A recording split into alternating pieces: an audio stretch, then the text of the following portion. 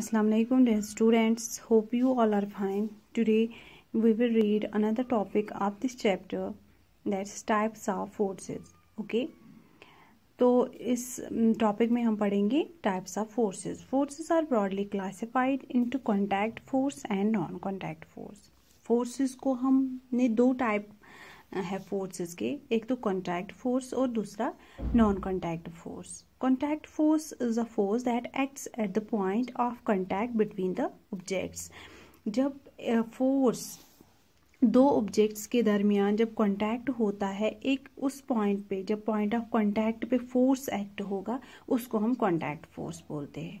और non contact क्या होता है? जिसमें ऑब्जेक्ट्स कांटेक्ट में ना हो। ठीक है? तो एग्ज़ाम्पल जो है कॉन्टैक्ट फोर्स की that is friction and non contact force की जो एग्ज़ाम्पल है, वो है फोर्स ड्यू टू ग्रेविटी तो पहले हम फ्रिक्शन के बारे बारे में पढ़ेंगे। फोर्स ड्यू टू फ्रिक्शन पहले हम फ्रिक्शन पढ़ेंगे कि फ्रिक्शन क्या होता है। Friction is a force that occurs when two surfaces in contact slide और roll against each other friction वो फोर्स है जब दो सरफेसेस दो ऑब्जेक्ट्स कांटेक्ट में होते हैं या तो वो स्लाइड करते हैं या रोल डाउन करते हैं एक दूसरे के साथ। जैसे मैं हम, मैं एग्जांपल लूँगी, ये पेपर है और इसका कांटेक्ट बुक के साथ है। जो इस, इनके दरमियान फोर्स है ना, अगर मैं पेपर को मुँह ऐसे करूँगी, जो इनके दरमियान फोर्स है that is friction that is friction और जो ये फ्रिक्शन होता है it is always opposite to the direction of motion यानी कि ऑब्जेक्ट जिस मोशन में जिस डायरेक्शन में चलता है फ्रिक्शन उसके अपोजिट होता है. लाइक like, अगर मैं पेपर इस डायरेक्शन में चलाऊँगी यानी कि आगे ले जाऊँगी तो फ्रिक्शन इस साइड में होगा. ठीक है? It's always opposite to the direction of motion for example when we push a book on a table it move and then stops अगर हम बुक को टेबल पे पुश करते हैं, ऐसे पुश करते हैं तो थोड़ी देर में वो स्टॉप हो जाते क्यों? This is due to the friction जो टेबल और बुक के दरमियान जो फोर्स होता है दैट इज़ फ्रिक्शन वही इस बुक को स्टॉप करता है। ठीक है? तो जितनी ज़्यादा स्मूथ सरफेस होगी उतना उतनी फ्रिक्शन कम होगी और जितनी रफ सरफेस होगी उतना फ्रिक्शन ज़्यादा होगा।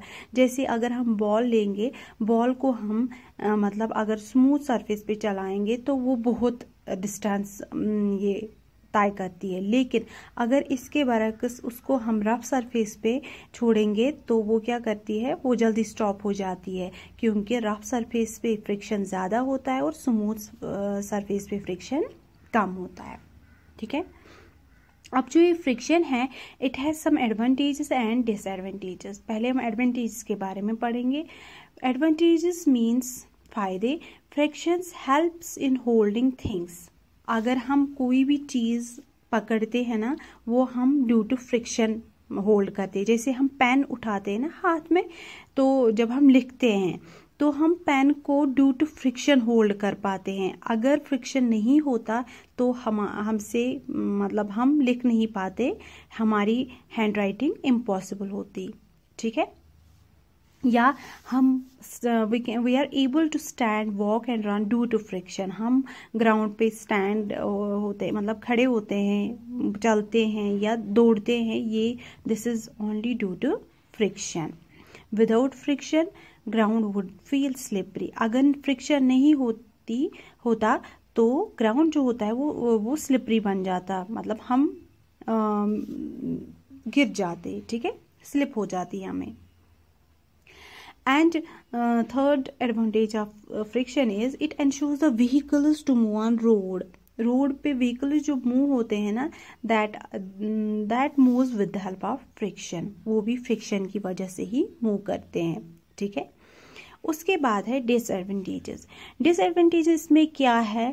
जैसे हम for example we have to this move heavy objects on the floor this friction makes it difficult ये जो फ्रिक्शन है ना, ये उसको डिफ़िकल्ट बनाता है, क्योंकि फ्रिक्शन जो है, वो रफ सरफेस पे ज़्यादा होता है, इसीलिए हम हैवी ऑब्जेक्ट्स को फ्लोर पे मूव नहीं कर पाते हैं।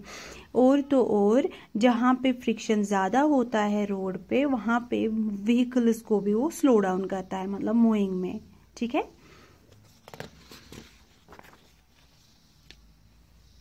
थर्ड डिसएडवेंटेज ये है सोल्स ऑफ़ और shoes get worn due to friction friction की वजह से हमारे जो शूज़ के सोल्स होते हैं या हम हम चप्पल लगाते हैं, वो भी मतलब डैमेज हो जाते हैं फ्रिक्शन की वजह से।